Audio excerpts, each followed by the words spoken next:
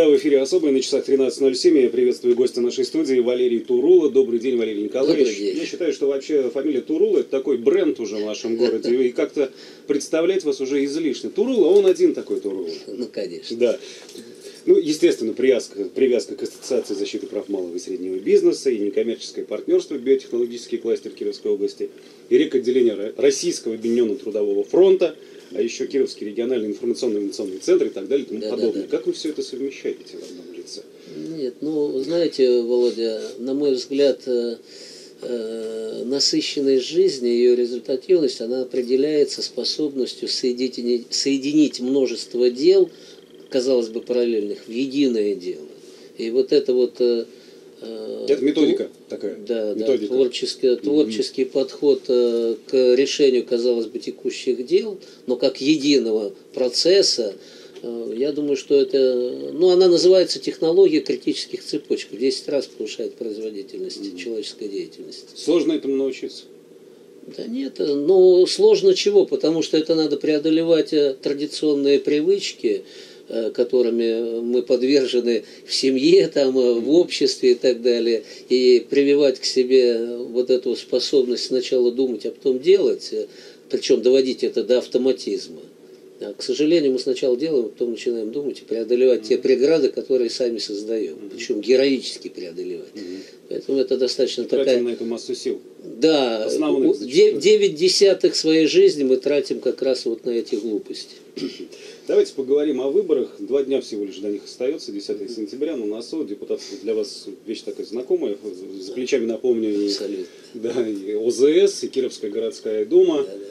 Да, но в этом году вам не посчастливилось поучаствовать Нет, в неправильно. выборах. Я бы сказал, не в посчастливилось. Это запланировано недопуск э, к участию. Давайте поподробнее об этом э, поговорим. 2 августа стало известно, что не все ваши подписи в городскую думу прошли проверку избиркома, так? Правильно Да, да, да, да, да, да, да. И вы тогда сказали, что будете отстаивать свою правоту, вплоть Да, до да. высших судебных инстанций пойдете. Точно, Как дела обстоят? Точно.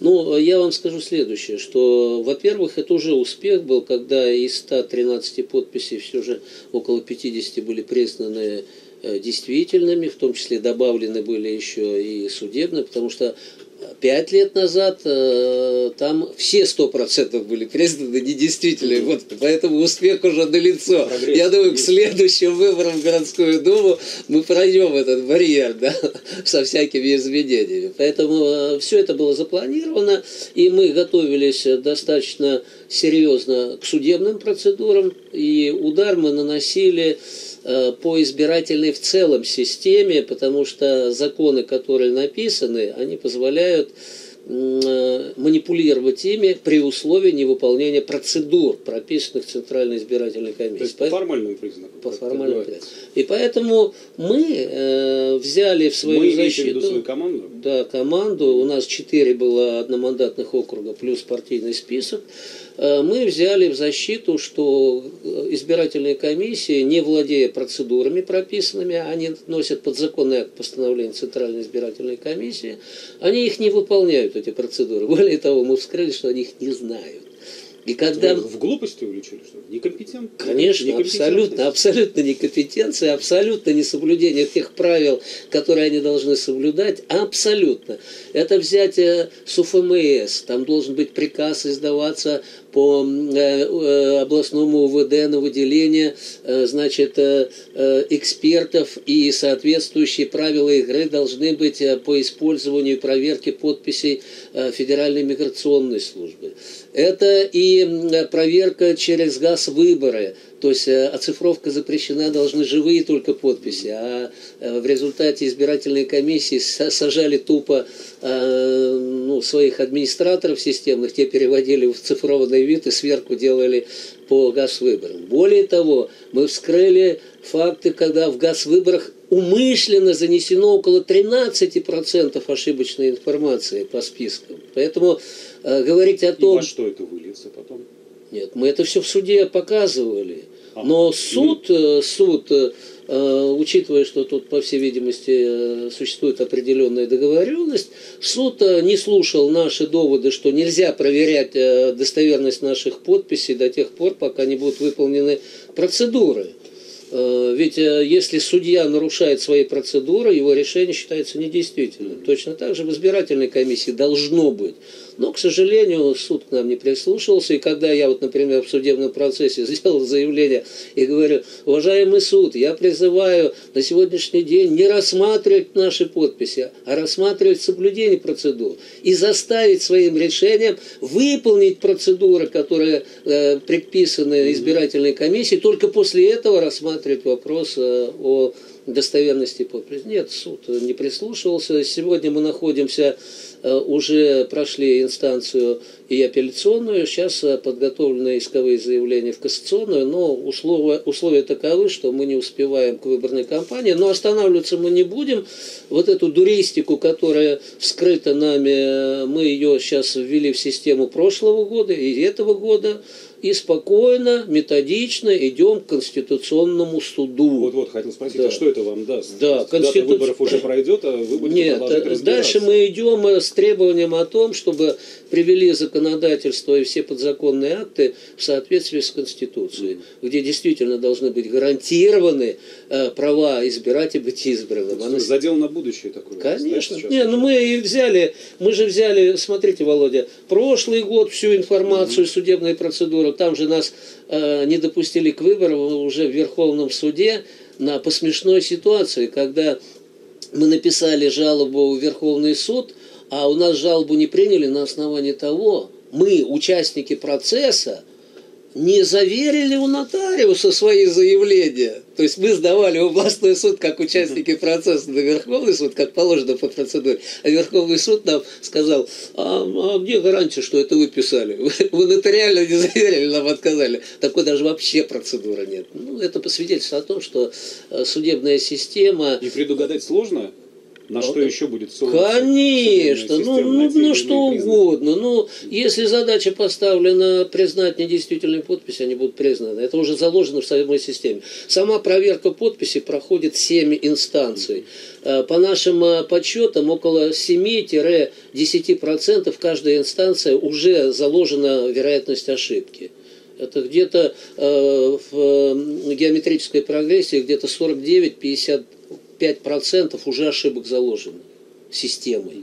То есть поэтому пройти, если все делать, э, как они делают, то ну, 100% мы вот я как раз вложился в эти проценты достоверных угу. подписей, которые они мне обеспечили. Поэтому нет, мы спокойно на это реагируем. Но, но... чисто по-человечески не обидно? Все-таки не, не получилось нет, в этот раз. Еще а на обиженных, еще, на обиженных, еще нет, Володь, лет, вы понимаете, мы должны показать э, своему населению всю ничтожность этой выборной системы. И в конечном счете мы подали уже заявление в Центральную избирательную комиссию Э, все факты вот эти собранные нами приложили и написали, что Кировская область не готова к сегодняшним выборам, э, ну, как минимум на уровне городском. Э, ни одна избирательная комиссия не владеет квалификацией и компетенциями по осуществлению правильных процедур. Следовательно, с точки зрения неподготовленности избирательных комиссий, надо отменять выборы и губернатора, и выборы в городскую думу. Мы такое письмо отправили, но, к сожалению, до сегодняшнего дня ответа никакого нет. Как давно отправили и когда должен быть Мы ответ? Отправили где-то уже регламент? недели три, недели, недели три. три назад. Они в течение 10 дней должны дать ответ, но они не дают ответ. Но, видимо, поставили в тупик. Конечно. Центральную избирательную комиссию. Конечно. Не, там, вы понимаете, до смешного доходит, когда суд принимает решение, что постановление, а это закон, то есть это государственная структура, где постановление является подзаконными актами.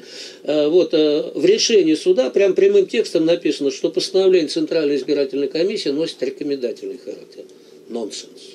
То есть закон для избирательной системы носит рекомендательный характер. Это нонсенс, это вообще ужас. И это все нормально. Я когда в областном суде, а тот же самый был судья, э, который в прошлом году нам отказывал, он так заулыбался, я говорю, ваша честь, Узнал чё, да, ваша честь, что же мы будем делать? В прошлом году вы говорили, что подзаконные акты являются как законами, которые мы должны соблюдать. В прошлый год мы имеем в виду выборы в ВЗС. Выборы в ВЗС, да. Э, мы же с вами тогда договаривались, и вы сказали, что подзаконные акты носят законную силу, и поэтому мы вам отказываем. Сегодня вы говорите, что подзаконные акты носят рекомендательный характер, на основании закона мы вам отказываем. Он заулыбался, я говорю, ну что это такое? Я говорю, а вы, товарищ прокурор, должны стоять на страже закона, а вы молчите. Я говорю, поэтому, наверное, нам придется вам помочь в соблюдении своих функций качественным для того, чтобы законодательство все же на территории Кировской области работало. Поэтому мы пойдем до Конституционного суда, а дальше пойдем, может быть, до Международного суда. Так, обобщая, Валерий Николаевич, ну, правильно поговорку применить? Камень в воду точит вы сейчас по этому Конечно, принципу? правильно, да? правильно.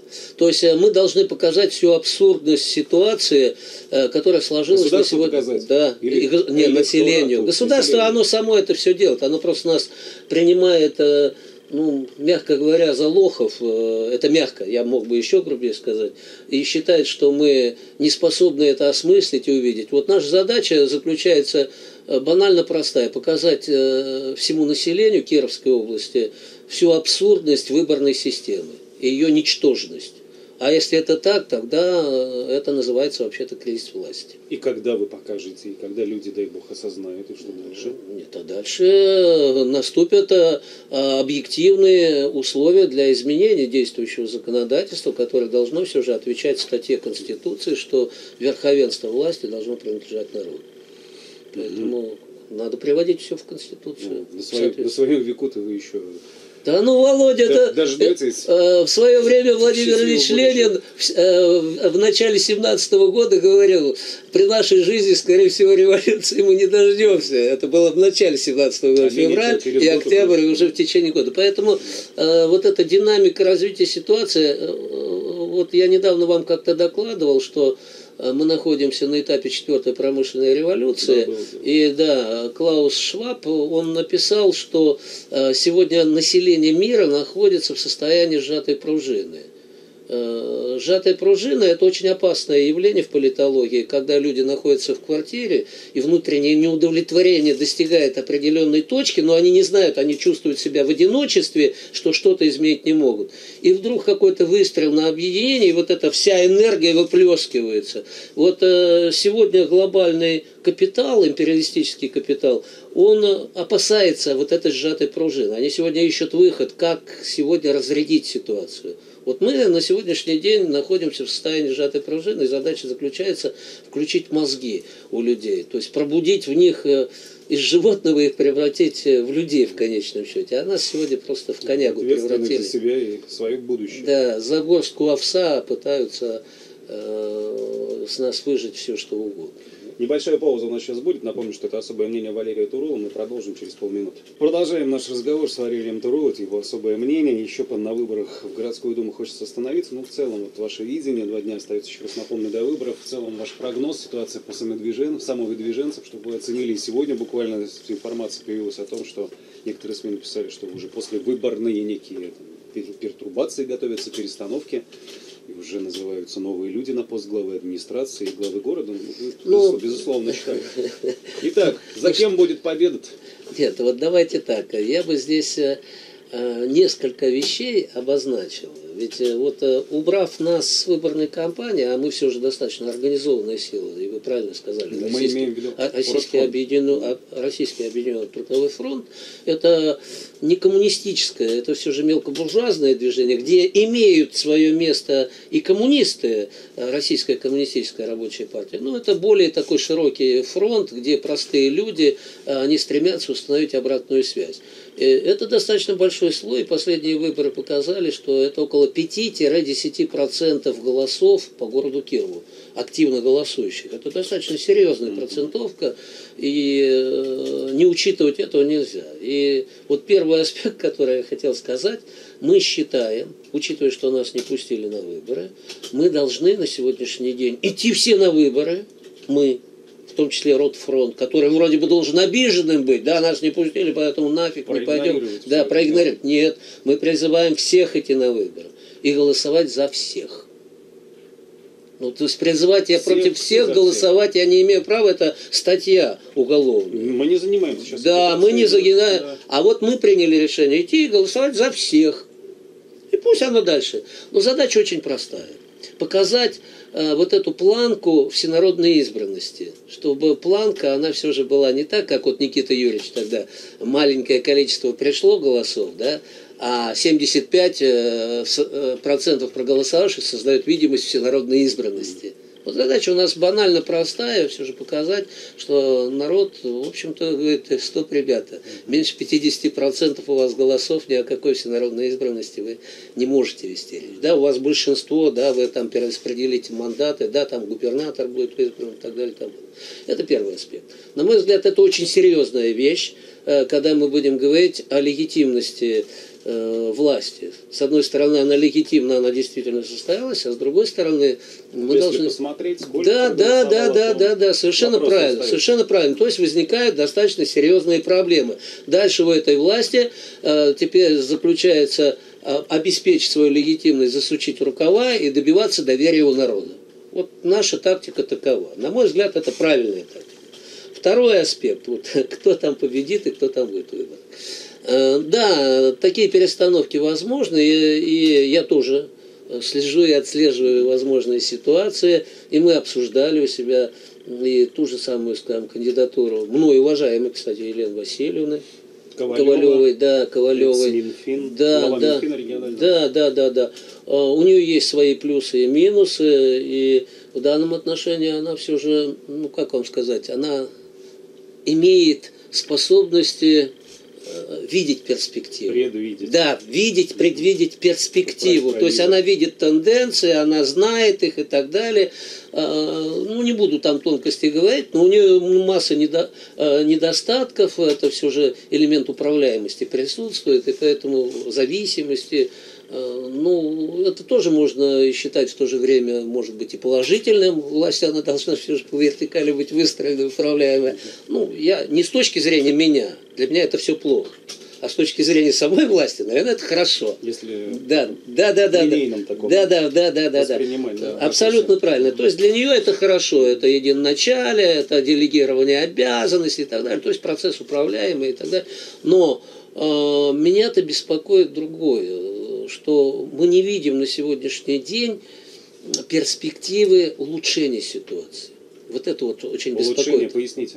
Улучшение в виду? ситуации, ведь для того, чтобы эффективно власть работала, того же самого города, к примеру, да, в Думе должна присутствовать вот эта маленькая альтернатива, хотя бы маленькая, но она должна присутствовать, потому что принимаемые решения должны аргументировать свою позицию, преодолевая вот это вот препятствие. И тогда эффективность решения, она будет э, достаточно высокая. А имитировать, что это народа, для народа, ну, извините, ну, это глупость. Я как-то вот э, в предыдущем выступлении сказал, э, есть там Васильев, нет Васильева, государственные программы все равно выполнялись бы. Или вот как там я стенд вижу, Единая Россия это партия президента, Единая Россия это вхождение в целевые программы. Стоп, ребята, Почему нужно да, голосовать? вы- да, да, да. Ну слушайте, ну это же, ну, ну как минимум идиотизм. Ну, ну не в этом смысл-то политической борьбы.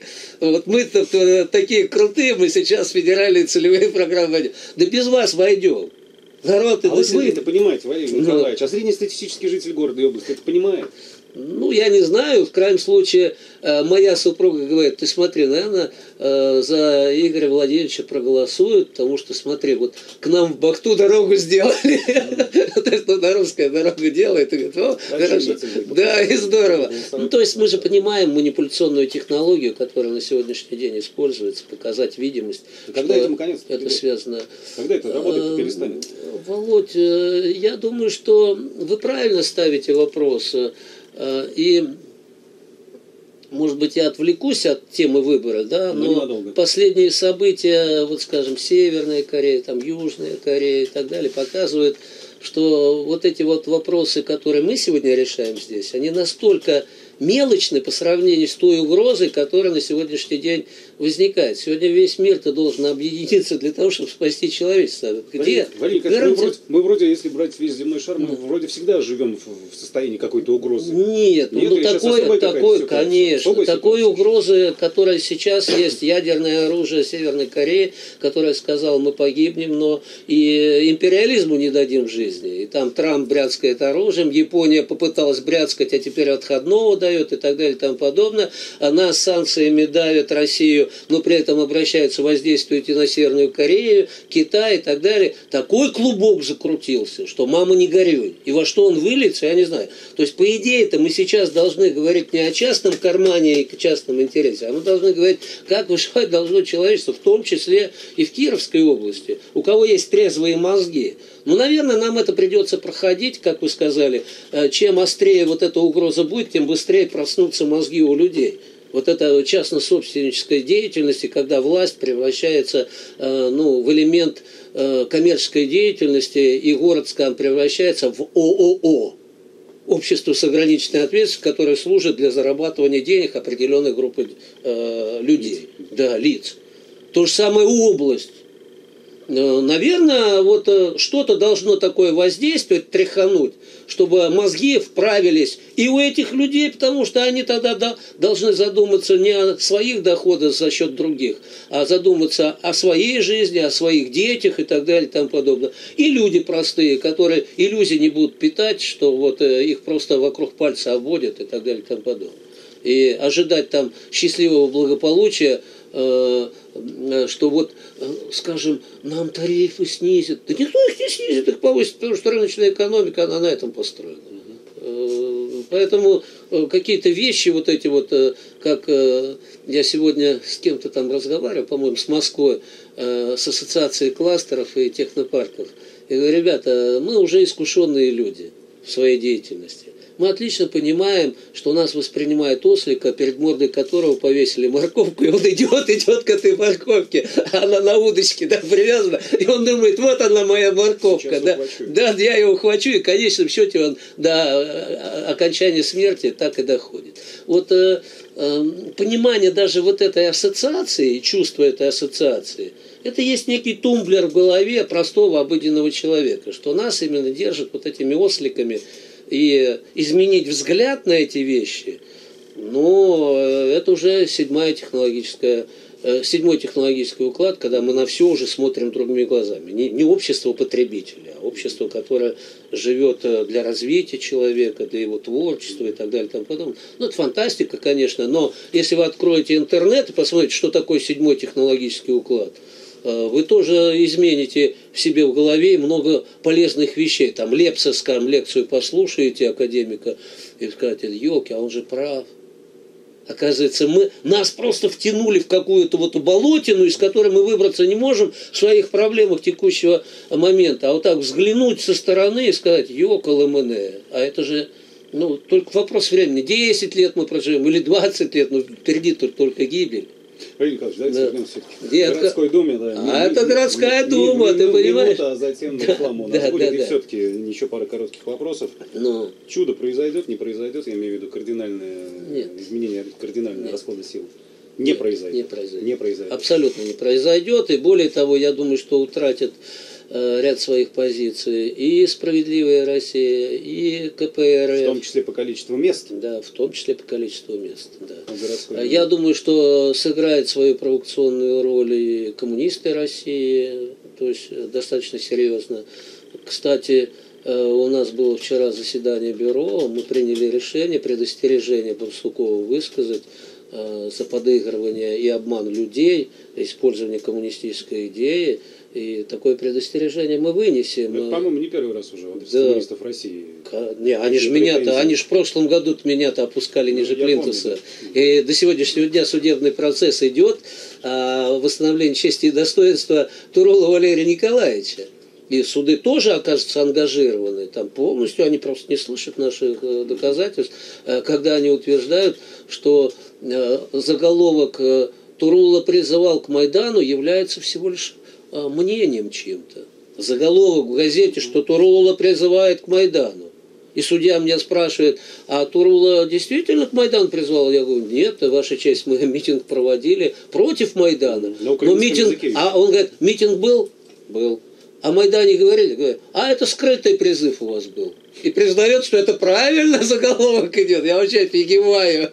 То есть в данном отношении хотел бы как лучше, да, все на 180 градусов. И так во всем. Вот это вот э, самая ужасная вещь, э, когда коммунисты России вот этим э, ледоколом вот этой вот дискредитации честности, порядочности, они просто выступают ледоколом вот этого, и разрушают, разрушают, разрушают. У меня есть много претензий к коммунистической партии Российской Федерации, но в конечном счете там можно спорить, дискутировать и так далее. А здесь, ну, это что-то ужасное. Что-то крайне... Много эмоций у вас тратится да. на коммунистов России. Еще один вопрос да. перед рекламой.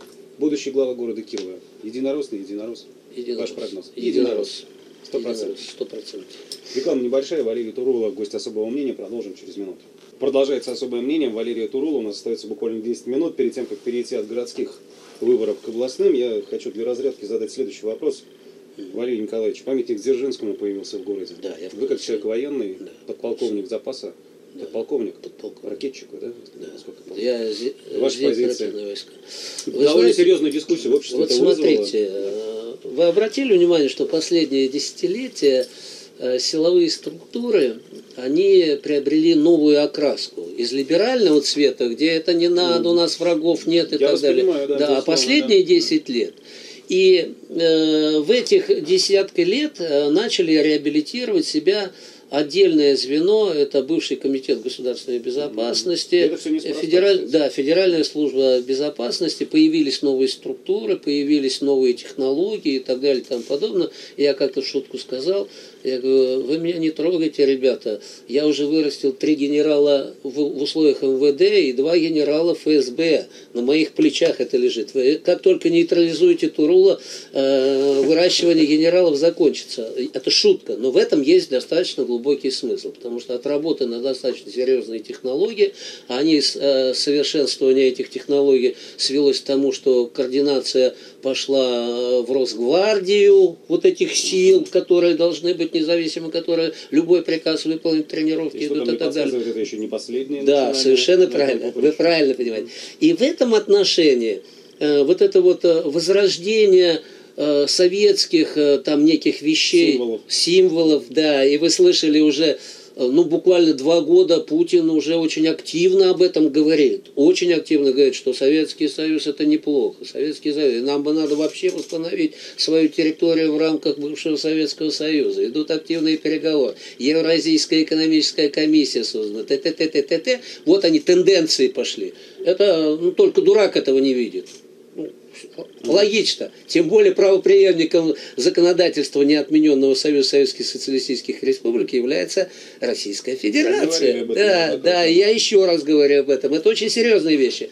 И вот здесь возрождение символа Дзержинского э, чести, достоинства, честности, вот, вот это есть своего рода снятие вот этого э, нехорошего налета на силовиках который мы за 25 лет имеем. И мы это видим, нечестность, непорядочность, э, использование. Я как-то тоже говорил, что я, например, если вижу милиционера на улице, я пытаюсь его обойти.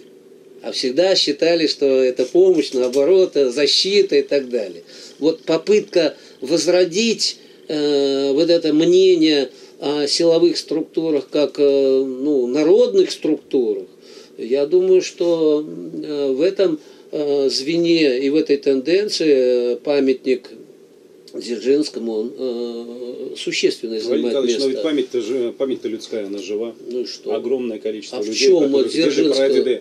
Ну, а, в были подвергнуты репрессиями. Они Ну, у меня мама была- Феликса в том, что он один из родоначальников того самого красного террора. Да нет, э, если вы, категорически не если вы внимательно следили, то красный террор-то был ответом на какой террор? На белый. Ну, ну а что тогда говорить?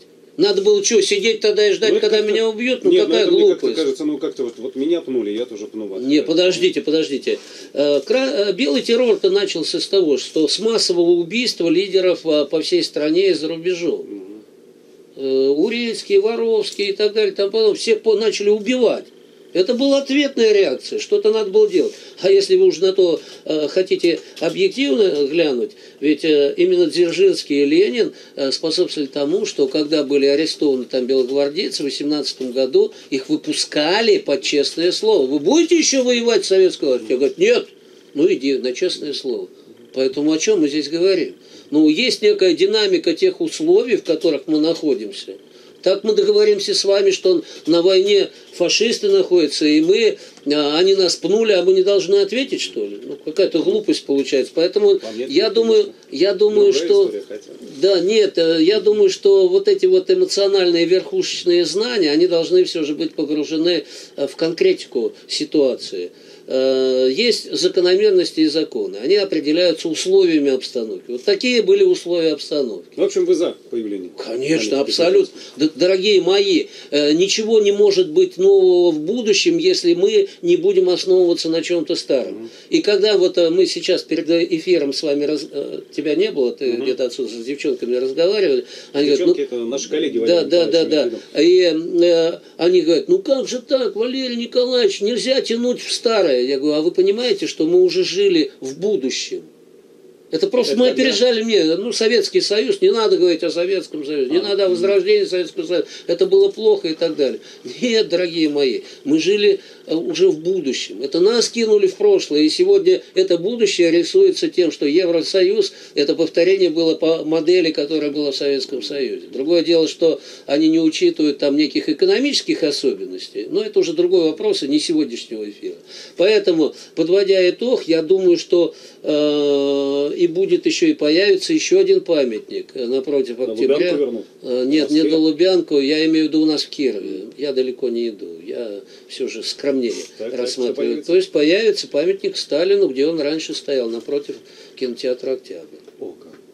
Да, ну хорошо, давайте не закончим еще один вопрос. Просто много еще резануло, многих резануло еще и то, что на открытии памятника Дзержинскому выступал в том числе и в Рио. Знаете, это как-то вот все в одну череду сошлось торжественных открытий, слилось торжественных открытий, перерезание ленточек, памятник Грину открытие, там еще это чего, и тут памятник Дзержинскому, бац, Многие не поняли, почему первое лицо региона. Нет, вот смотрите, я думаю, что э, Игорь Владимирович, он ведет... Ну, понятно, что он... Вот в данном этих... отношении, не знаю, сам это или кто-то ему подсказал, но в любом случае это выглядит очень мудро. Мудро? Конечно, мудро. Потому что э, Грин э, – это э, ряд культурного слоя. Там э, еще какой-то памятник – это другой Он слой. Он там сказал о том, Дзержинск... что жизнь Феликса тоже своего рода окутана романтизмом. Да, да, романтикой. слушайте внимательно. И Дзержинский же у нас сидел, и побег устраивал он от нас отсюда. Mm. Вот. То в данном отношении за Дзержинским, за этим э, символом, тоже стоит достаточно большой слой достаточно большой слой населения. Мы же о чем сейчас говорим? О выборах, да? О выборах. О выборах. Поэтому, ребята, ну, надо правильно понимать эти вещи. И э, было бы глупо сказать Васильеву, что это плохо и так далее, и сразу потенциальные голоса... Да нет, может, это было закрытым мероприятием сделать. А, а его невозможно было, а его невозможно было сделать закрытым. Это действительно ну, событие. Дворик там закрыто на линии. Нет, дворик, да, а событие не, не закроешь. Это, э, я же вчера уточнял эту ситуацию. У нас есть товарищи, которые сдавали деньги. Я говорю, а кто финансировал? Э, Сан Саныч Великжанин говорит, это мы, говорит, чекисты собирали деньги, все. На памятник? Да. Подождите, анонсировано, что это Слу... издательский дом Крепостного. Слушайте еще раз внимательно. Мы, говорит, собирали эти деньги. Поэтому это целый слой чекистов – причем вот он, ему уже 90, помните, я говорил, это один из кандидатов в депутаты, угу. честнейший человек, которому терять уже нечего, и мы говорили, что он в Думе будет контролировать, чтобы э, решения принимались за народ, а не против народа. Это серьезнейшая функция. И купить его уже нельзя. Он уже прожил свою жизнь фактически. Да? Так вот он говорит, что мы собирали. И слой-то какой? КГБ, он в НКВД еще служил. НКВД, КГБ, ФСБ. О, какой слой силовиков. Поэтому ты мне извини э, сказать, что это вот так, да? Зайдите, пожалуйста, в любой кабинет чекистов. Чей там портрет? Слава богу, не. Нет, ну, мне доводилось. Доводилось. Доводилось. Рома- романтика там. Нет, другая там. Нет, ну, э, кладут передо мной вот такую папку документов, говорит, Валерий Николаевич, да, это ваше дело и говорит, дадут Что отмашку, давать, да? дадут отмашку, мы любое дело сфабрикуем. Честно, откровенно говорят, дадут отмашку. Вопрос только времени. Ой, честнейшие люди. Да, да. честнейшие люди. Минута до конца, Валерий Николаевич. Минута как раз на губернаторские выборы. Всероссийский центр изучения общественного мнения опубликовал данные опроса, проведенного с 10 по 20 августа на территории нашего региона. Итак, что же выяснилось? Согласно этим данным, почти 50 9% на губернаторских выборах наберет Васильев, достанутся Мамаему 20 с небольшим процентов, Черкасов 16,5 и Барсуков ухватит свои ну, почти 2%. Еще раз, сколько Васильеву? Почти 59. Ну, 50, Вот я 58 и 3 десятых. Ну, э, прогнозировать э, это, наверное, не самое лучшее, всегда мы говорим, да? Тем более в такой ситуации, где условиями кто-то управляет определенными условиями, там корреляционная функция, она может существенно выдать результат неожиданный, э, в зависимости на какие условия будут осуществлены воздействия. Так вот, если у нас все получится, наша задача вообще-то, чтобы Васильев э, победил, э, он победит объективно, победит. То есть это мы Всё, повлиять, да, победит. Вы согласны? И поэтому, Вне да, зависимости, какой процент, да, вот хоть процент, что ты он не делай, да, он победит. Но задача заключается в том, чтобы все же э, поставить под сомнение легитимность. Ниже 50%. Мгм. Вот если это так будет, ну, я думаю, что это будет серьезно. Когда мы, мы об этом узнаем, что вы успешно поставили под сомнение легитимность этих... Да, ну, вот в понедельник и. В узнаем. понедельник. Да, в понедельник и узнаем. Кстати, да, действительно, договариваемся на понедельник, 11 число. Безусловно, дневной разворот у нас, я думаю, что оба даже часа будут посвящены уже итогам выборов. Там уже результаты будут первые известны. Я что-то не припомню случая, когда первые результаты кардинально отличались от э, Конечно. того, что будет Да, потом уже я более того, я не несколько дней. помню того, что первые результаты, которые в течение часа поступали, чтобы они кардинально изменялись, тоже такого не помню. Так что ждем вас в качестве эксперта. Да нет Да, вопросов. Да, в понедельник уже. Спасибо большое, Валерий Турула. На этом особое мнение завершается. До свидания. И вам Да, спасибо и до свидания.